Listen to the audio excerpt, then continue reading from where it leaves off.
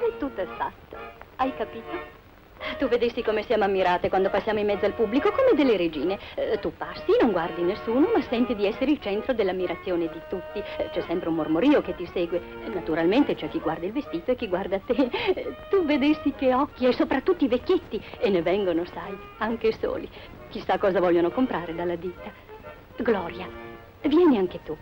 Ne parlo io al direttore, è un ragazzo serio, mi vuole sposare. Ma